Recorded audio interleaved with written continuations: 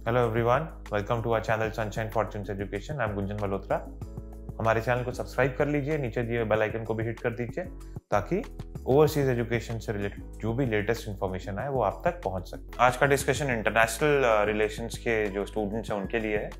अगर आप international student हैं, जो इंटरनेशनल रिलेशंस की पढ़ाई अब्रॉड से कर रहे हैं और आप जानना चाहते हैं कि आगे आपका क्या करियर प्रॉस्पेक्ट्स रहेगा तो मैं आपको आज गाइड करूँगा।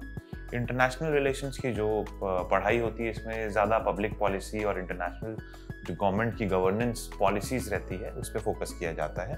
तो इस तरह के प्रोग्राम्स को करने के बाद आप एक डिप्लोमेट बन सकते हैं बट उसके लिए अलग क्राइटेरिया रहता है। इंडिया में डिप्लोमेट बनने के लिए आपको यूपीएससी वगैरह का एग्ज़ाम जो है, वो क्लियर करना पड़ता है।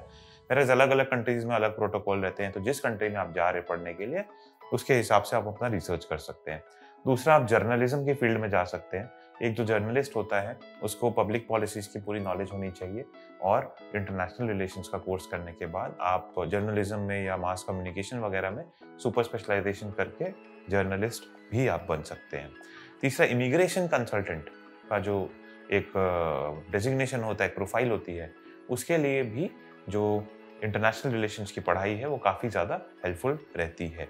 प्लस अगर आप पॉलिटिक्स में जाना चाहते हैं लॉन्ग रन में और एक अच्छा पॉलिटिकल करियर चाहते हैं या आप अगर पॉलिटिकल कंसल्टेंट बनना चाहते हैं जिसको अलग अलग पॉलिटिकल पार्टीज़ कंसल्ट कर सकती हैं तो उस तरह के रोल में भी आप जाना चाहते हैं तो ये पढ़ाई आप कर सकते हैं, ये आपके लिए काफ़ी ज़्यादा हेल्पफुल रहेगी। आई होप आपको हमारा जो वीडियो है पसंद आया होगा। अगर आप भी ओवरसीज जाके पढ़ना चाहते हैं आपकी कोई भी क्वेरी है देन कमेंट सेक्शन में आप अपने कमेंट पोस्ट कर सकते हैं।